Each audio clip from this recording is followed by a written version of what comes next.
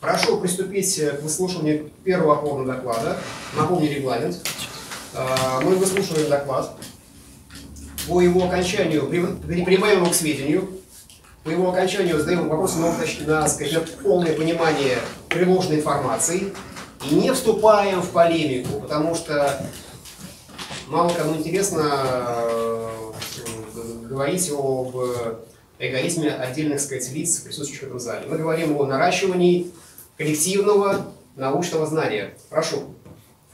Добрый день. Значит, меня зовут Конов Александр Анатольевич. Я э, почти 30 лет без малого проработал в Институте системного анализа, который основал академик Гришиани, который в свою очередь был отцом, одним из отцов основателей римского клуба. Э, и э, вот только в прошлом году, когда Исарам фактически прекратил свое существование, то я, соответственно, просто там перестал работать.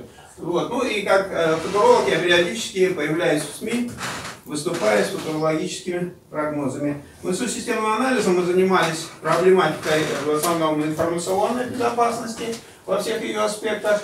И в частности, безопасную финансовую систему мы разработали основы вот, э, современных стандартов безопасности банковской системы, которые в настоящее время, э, на основе которых сейчас она и функционирует.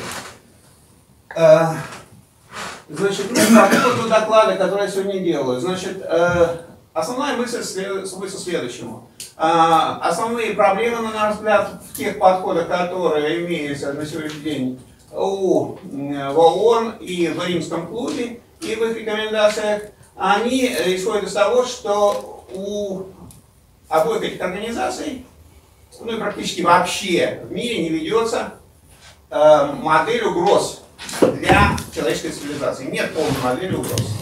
Вот. Ну, вот в данном случае представлено, э, какие угрозы называются ООН. Вот. Ну, белым показано то, что, на чем внимание все время акцентирует Э, Гутерриш, Генсек ООН, это ядерная угроза, мировой терроризм, вооруженные конфликты, изменение климата, растущее социальное неравенство, опасности новых технологий, миграционный кризис. Ну и в дополнение, значит, вот по множеству документов ООН, опять же, э, проходит э, следующие угрозы. Это загрязнение мирового океана, парниковые выбросы, войны между государствами, насилие внутри государств, включая гражданские войны, массовые нарушения прав человека и геноцид, нищета, инфекционные болезни, э, экологическая деградация, оружие массового поражения, ядерное, радиологическое, химическое, бактериологическое оружие и транснациональная организованная преступность. Что нам не нравится в, этой, э, в этих угрозах? В том, что они полностью игнорируют э, угрозы, связанные с э, тем, что, вообще говоря, мы живем не на изолированной планете, не в изолированном мире, а мир этот крайне хрупок, и он расположен в катастрофически нестабильных средах. Собственно говоря, вот теория катастрофически нестабильных сред это вот как бы краеугольная теория, которую я развиваю последние 20 лет.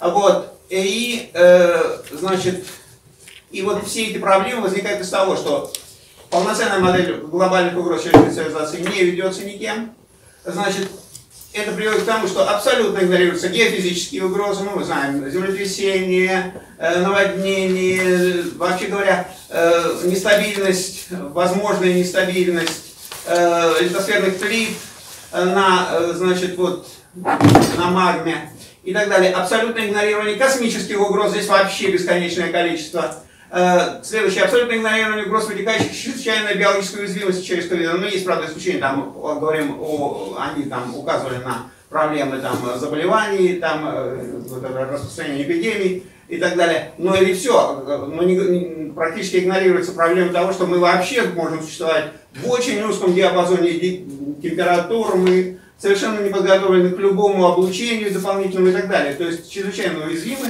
и это в качестве угроз тоже не рассматривается. Дальше абсолютно игнорирование угроз, вытекающих из чрезвычайной идеологической уязвимости человеческого вида. То есть э, практически человечество периодически стравливается, на, э, э, вовлекается в процессы самоистребления, сам, саморазрушения и так далее. И э, четвертое это э, иллюзия возможности, э, так, ну и в результате, как бы, э, значит, э, делаются совершенно неправильные выводы, и возникает иллюзия возможности обеспечить безопасность будущего, снижением деловой активности и потреблением человеческих ресурсов. Это вот э, основные выводы, которые следуют и из рекомендаций ООН, и из рекомендаций Римского клуба. Вот, ну, для примера я просто вот игнорируем космические угрозы, но вот НАСА в свое время попытались срезать, э, срезать э, значит, им финансирование, и вот они выпустили такой плакат. Э, это плакат, который показывает, значит, вот движение астероидов, которые только тех, которые угрожают Земле. Вот. Ну и вопрос. Вы по-прежнему думаете, что НАСА, НАСА больше не нужно? Вот, Национальное агентство по, по космосу американское. Вот. вот это только один пример игнорируемых угроз. А на самом деле из космоса количество угроз просто бесконечное. Там э, одних классов, э, в общем, у меня специально, я 20 лет веду, значит, досье на мироздание, так называемый сайт в интернете. И вот в этом досье на мироздании, там, э, значит, это Э, сотни страниц с этими угрозами, которые существуют для человечества в космосе. Вот, ну, э, значит, в результате они вот сформировали вот эти вот э, цели устойчивого развития и э, 18 этих целей.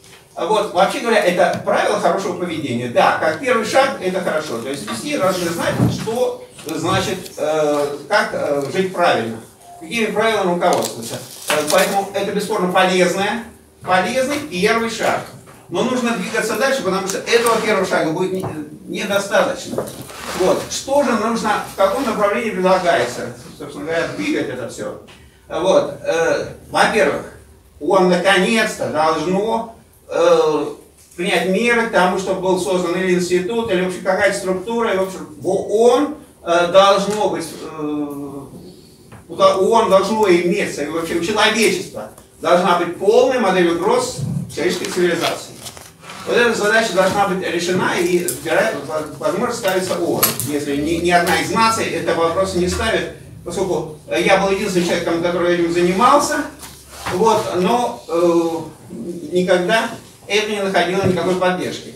Дальше. А, поставить перед человечеством цель достижения его неуничтожимости, поскольку совершенно ясно, что мы существуем, э, вот как только мы начинаем строить модель угроз цивилизации, мы понимаем, что мы находимся в э, ситуации, когда любая модель угроз будет неполна. Вот эту э, ситуацию мы называем, э, эти среды, в которых существует такое положение, мы называем катастрофически нестабильными средами.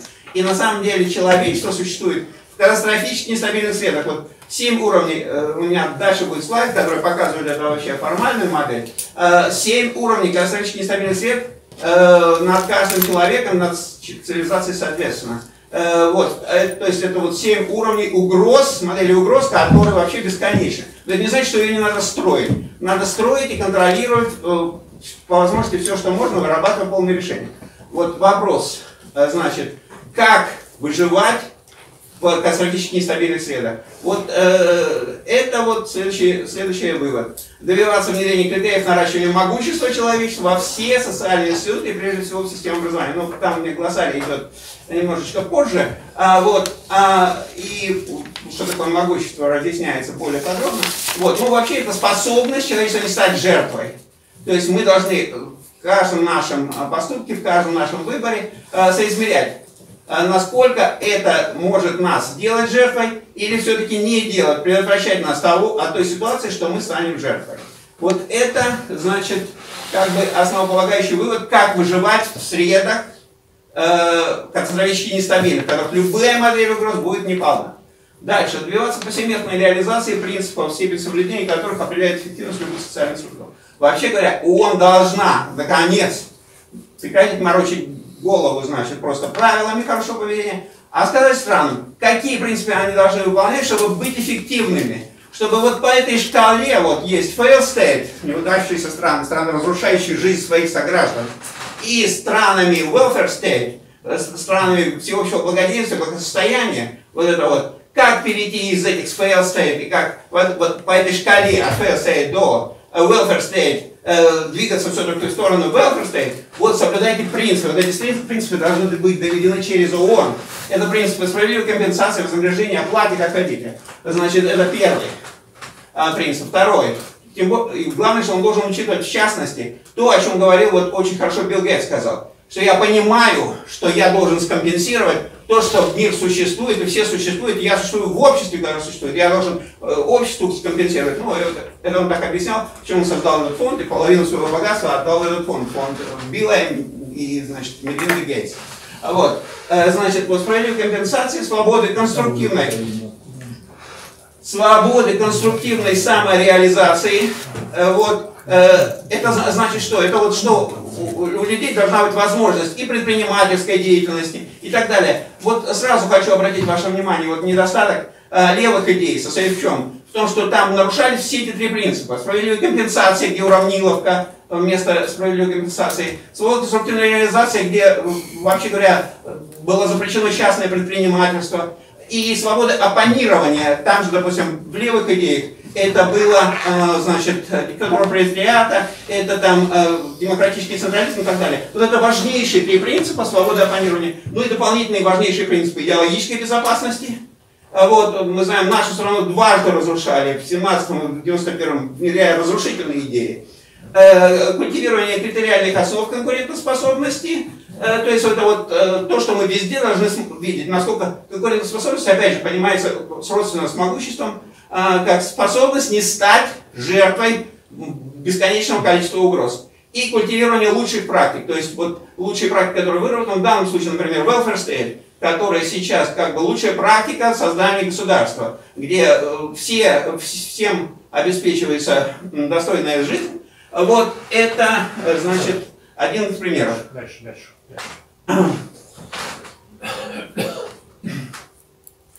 И, в общем, стратегические задачи, которые должны быть поставлены, это космическая экспансия, продление жизни и повышение уязвимости. Вот это задачи, без которых человечество не имеет никаких перспектив. Как планетарная цивилизация, человечество не имеет никаких перспектив. И вот эти вот последние четыре доклада, которые, на анализе которых я делал дальнейшие там вот выводы, которые я сейчас покажу, значит, вот они все, и главный недостаток, они считают, что возможно э, устойчивость на, э, если мы берем, рассматриваем человека как планетарную цивилизацию. Вот это самое большое заблуждение. Э, значит, человечество как планетарная цивилизация чрезвычайно уязвимо, бесконечно уязвимо. То есть количество угроз вот этих нерешаемо. Большинство угроз, вот если мы посмотрим на все множество, оно парируется космической экспансией. Вообще говоря, двумя мерами. Космическая экспансия и внедрение критериальных основ э, конкурентоспособности и могущества. Вот они закрывают большое количество угроз из всего того огромного множества, которое есть. Они же предполагают, и вообще вся вот это вот, все все их построения, э, возможности построения планетарной человеческой цивилизации. Это, это большая иллюзия. Вот. Ну и вот угроза человечества по докладу Римского клуба. Деградация планеты, рост авторитаризма и фундаментализма, торжество спекулятивного капитала, э, то, что кризис перестал быть циклическим, а стал постоянно усиливающимся, в частности, кризис капиталистической системы, где э, в результате уклонения от налогов в офшорах сейчас спрятано порядка 32 триллионов долларов, вот, в то время как важнейшие задачи э, цивилизации не решаются, нет денег на решение важнейших направлений по обеспечению безопасности нашей цивилизации. Дальше избыточное потребление выброса СО2, глобальный сбой в распределении продовольствия, 8 миллионов человек продолжают голодать. А вот города, 200 лет назад существовал один город-миллионер, сейчас их 20, значит, э, э, сейчас их три сотни, включая 20 с населением более 10 миллионов. Это в том, при том, что люди в городах потребляют в 4 раза больше ресурсов. Значит, черная, э, темная сторона цифровой экономики, она приводит к тому, что такие, например, компании, как Uber, ничего не платят за дороги, за инфраструктуру, а только обогащаются на них. Неконтролируемое развитие и неэтичное использование экспоненциальных технологий. Ну, то есть, это технологии, которые э, развиваются по экспонентам, бурно развивающиеся технологии. А вот, э, то, что они не контролируются, это тоже проблема. Ну, дальше. Меры предполагаем в рамках Римского клуба. Это максимальное исключение рождаемости, это вот самая губительная мера. Вместо того, чтобы, э, значит, посмотреть на опыт Китая, который, э, как только там начали реализовать правильные принципы, от, отошли от губительных коммунистических левых принципов, и вот те принципы, которые я показал, они на них перешли, как сразу какой резкий рывок, они стали ведущей экономикой. Вот это показывает, что на самом деле человеческий потенциал чрезвычайно важен, он повышает способность и могущество человечества. И вот у них главный вывод, максимальное сокращение рождаемости. Дальше, животство непозволительная роскошь, поскольку наибольший экологический урон, отказ от ВВП как главного показателя эффективности. Но здесь можно с ними согласиться, что ВВП, по ВВП выгодно, значит, разливы нефти, которые увеличивают ВВП по, их ликвидации. Потом, значит, э, э, то, что учитывается то, только то, что значит, идет через торговлю. И вообще любые бедствия несчастные случаи, они увеличивают ВВП. Ну, в общем, они пока, хорошо показали абсурдность этого показателя. Дальше ограничение конкуренции и защита слабых видов, фундаментальные столпы эволюции. Ну вот здесь они очень правильный вывод, да, что чрезвычайно важно не э, конкурентоспособность и конкуренция не должна приводить к гибели слабых видов. Конкурентоспособность – это новое понятие, это новая концепция должна быть, которая говорит прежде всего способность не стать жертвой, а не кого-то задушить, задавить и так далее. Необходимость достижения баланса. Э, ну и вот по балансу здесь у них очень э, много. Они говорят, что между человеком и природой устойчивое развитие. Причем здесь все в основном правильно. Э, все, что они говорят, там, между и долговременной перспективой, между скоростью и стабильностью, между индивидуальным и коллективным, между женщинами и мужчинами, между равенством и справедливым вознаграждением. Вот здесь вот вопрос, конечно, равенство и справедливое вознаграждение, это если не оценивать вклад вообще каждого в человеческую цивилизацию, даже что он нигде не работает. Он просто часть человеческой цивилизации. И тогда мы говорим, все равно он должен получать справедливое вознаграждение за то, что он часть просто нашей цивилизации, и он выполняет великую миссию. Вот у меня теория великих миссий. Он выполняет, все мы, каждый человек выполняет величайшие миссии в этом мире. Ну и дальше между государством и религией, значит, ну здесь э, тоже это понятно, тоже можно приветствовать, потому что религии имеют свои положительные стороны, если они не разрушительного плана. А вот. Дальше.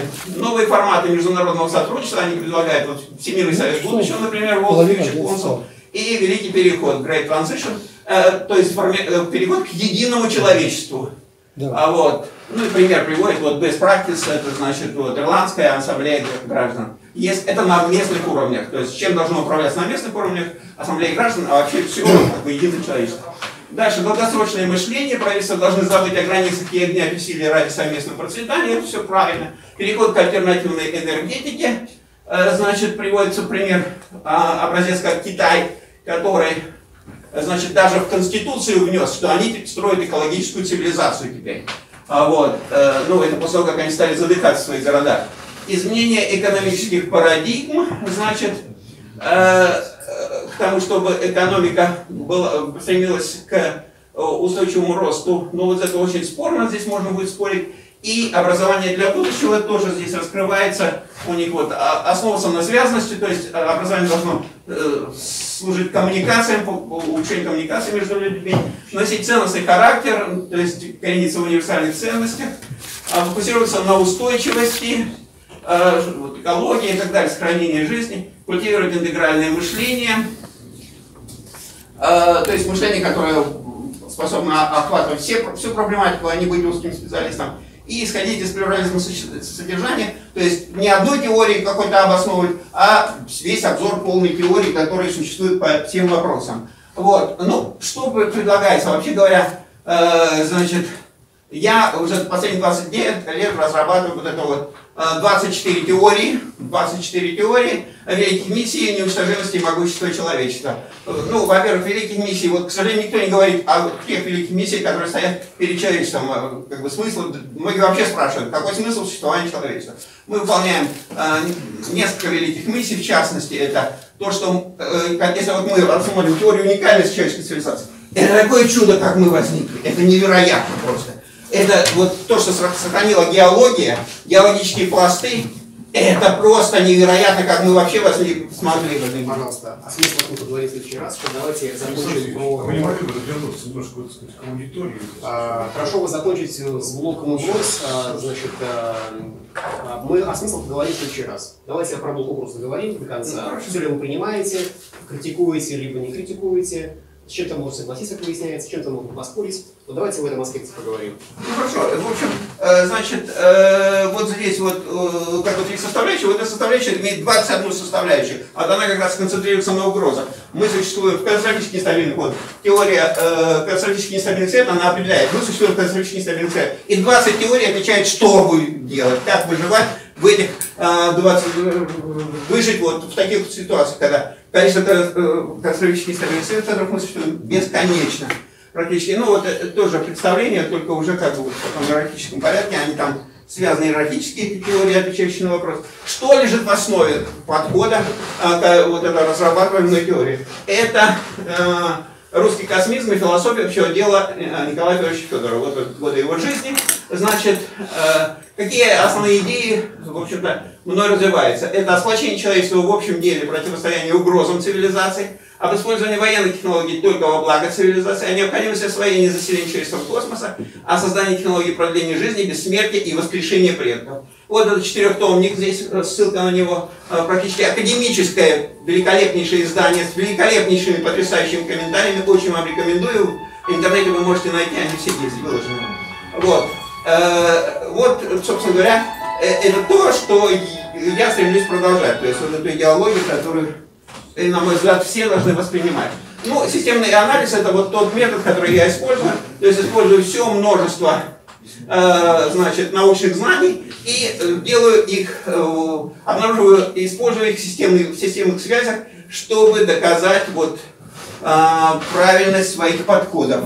Значит, ну и вот идеология, которая базируется на этой пирамиде из 24 теорий, это цивилианизм. Значит, определяется он через его цели и задачи. Главная цель идеологии могущества, вот, цивилианизма как э, идеология могущества человеческой цивилизации, внедрение критериальных основ повышения шансов безопасности будущего в человеческой цивилизации каждого человека. Главный критерий – могущество нашей цивилизации, обещание безопасности благополучия каждого человека. Под могуществом понимается способность человеческой цивилизации – стать несокрушимой и способной обеспечивать безопасность и благополучие каждого человека.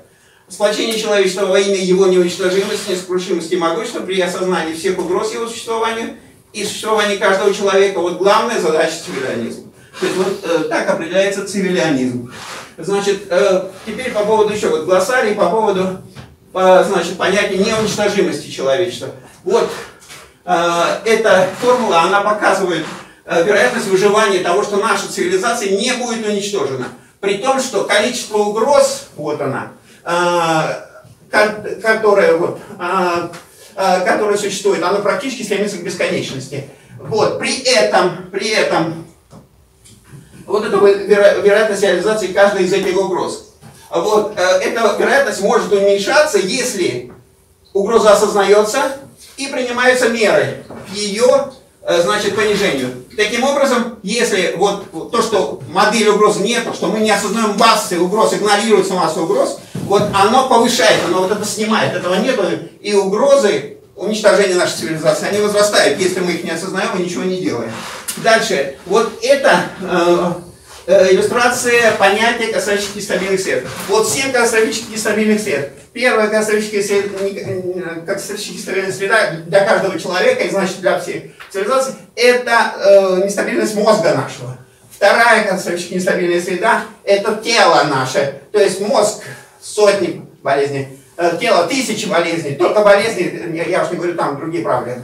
А, вот. Потом идет э, биологи... Э, среда окружающей среды, потом идет среда, э, которая тоже нестабильна, потом среда социальная, потом национальная, вот. потом, значит, идет среда цивилизационная и, наконец, мироздание, которое мы вообще не контролируем и которое вообще неизвестно, какие угрозы нам несет. Вот. И, собственно говоря, во всех этих случаях имеет э, значение большой цивилизационный коэффициент. Он позволяет снижать вот эти вот вероятности того, что мы станем их жертвами. Бесконечно это множество угроз. Это наша цивилизация. То есть вот чем могущественнее наша цивилизация, тем мы быстрее преодолеем вот это вот, справимся с этим бесконечным количеством угроз. Ну и как бы последний вывод – вообще говоря, нужно признать, что мы вообще на самом деле уже получили best practice, лучшую практику в области построения государств. Это welfare state, это государство э, с, э, значит, э, всеобщего процветания, э, значит, всеобщего благоденствия, благосостояния. Вот. И, собственно говоря, вот здесь вот приводится пример. И здесь, исходя из парадигмы, традиционной парадигмы, к которой мы привыкли, формационной, показывается, что эти welfare state объединяют в себе все три формации. Коммунистическую для тех, кто не может жить по принципу справедливой компенсации, это пенсионеры, это инвалиды, это те, кто ну, неудачники. И приводится пример вот Джон Роллинг. Оказалась ребенком одна, без э, существования, но получила она вот эту поддержку коммунистическую, э, когда живешь э, по принципу значит, отказу способность каждому по потребностям, но в рамках, конечно, которые общество может себе позволить. И вот она выжила, она написала первый свой роман, и в результате стала, а, в общем, самой богатой писательницей на сегодняшний день. Вот это пример того, как работает коммунистическая формация в welfare state. Второй уровень – это социалистическая формация для решения общественных задач, где там государственные задачи и прочее решаются. И э, третий уровень – это уровень капитализма. Да, там уже жесткая конкуренция, но в любом случае человек не побеждает, не погибает, а, а э, если он даже проигрывает, то он опускается на коммунистическую формацию, где он может, вот, подобно Джон Роллинс, опять подняться. вот. И, значит, э, наконец, значит, ну и вот это вот одна из высших миссий человечества, значит, находить, создавать, распространять совершенствовать образцы best practice, э, вот, которые, возможно, окажутся полезны для всего мироздания. Вот.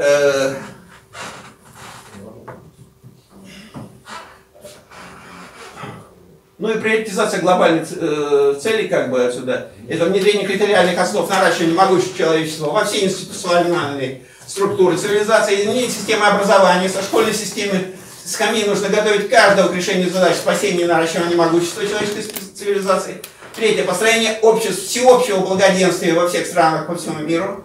Космическая экспансия, колонизация Луны, Марса, Церерия, переработка астероидов, вынос производства за пределы Земли, превращение Земли в курорт для осваивающей космос цивилизации. Вот здесь очень хорошая перспектива открыть, потому что сейчас стало ясно, а, астероиды, открытие астероидов, которые стоят квадриллионы долларов, триллионы долларов. То есть э, вот эти вот триллионы, которые зависли в офшорах, их можно привлечь вот в эту область, потому что она сможет хорошо окупаться. Космическая экспансия сможет хорошо окупаться, потому что там огромные возможности для, а, значит, э, оправдания расходов. И разработка технологий продления жизни и неуязвимости человеческого вида. То есть только э, должно приветствоваться вот это. Э, Все, спасибо за внимание. Вот здесь вот, как бы, то, что вот мы развивали, это национальная служба контроля рисков. Она до сих пор пока ее не отключили всю систему анализа, там в остатках, что там от него осталось. Вот, и можно там попробовать поработать с нашим программным комплексом. А это заложим все основы, которые мы заложили, в конце концов, в управлении всей финансовой безопасностью банковской финансовой Я предлагаю поблагодарить докладчика.